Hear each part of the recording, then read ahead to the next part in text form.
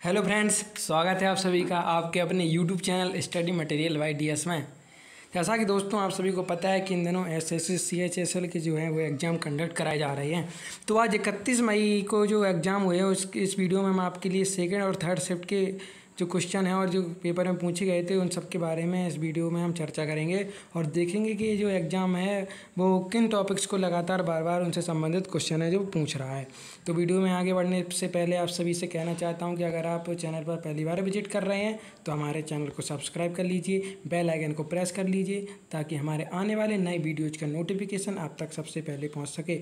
और हो सके तो इस वीडियो को ज़्यादा से ज़्यादा अपने दोस्तों के बीच शेयर कीजिए, ताकि जिन लोगों का भविष्य में अभी एग्ज़ाम होना बाकी है उन, वो लोग उन टॉपिक्स को अच्छी तरीक़ा से पढ़ के जा सकें, जिन टॉपिक से संबंधित जो क्वेश्चन है, वो इस पेपर में बार बार पूछे जा रहे हैं।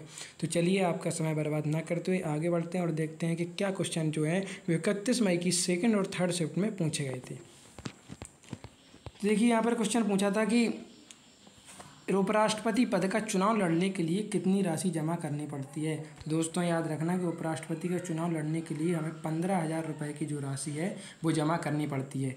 अगला क्वेश्चन पूछा गया था, किसने अनुच्छेद बत्तीस को संविधान की आत्म कहा है? ये क्वेश्चन मोस्ट रिपीटेड क्वेश्चन है। और इसका आंसर है कि डॉक्टर भीमराव अंबेडकर जी जो हैं, उन्होंने इसे अनुच्छेद बत्तीस को संविधान की आत्मा कहा था। और यह संवैधानिक उपचारों से संबंधित है। अगला क्वेश्चन पूछा गया था कि हॉकी विश्व कप 2023 की मेज़बानी कौन सा देश करेगा? तो इसका सही उत्तर होगा कि भारत। भारत देश में जो है, वो 2023 का हॉकी विश्व कप होना है। और आपको बता दें कि हॉकी विश्व कप हमारे देश में सबसे बड़ा स्टेडियम है ओडिशा में। इसका नाम है बिरसा मुंडा स्टेडियम। इसी स्टेडियम में जो है 2023 में हॉकी का विश्व कप होना है।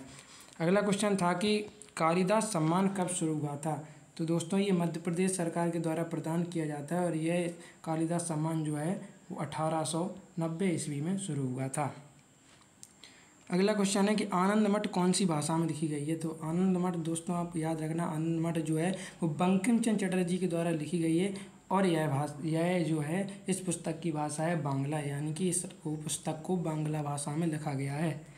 अगला क्वेश्चन पूछा गया था कि तानसेन किसके राज दरबार में थे? तो तानसेन जो थे, वो अकबर के राज दरबार में थे।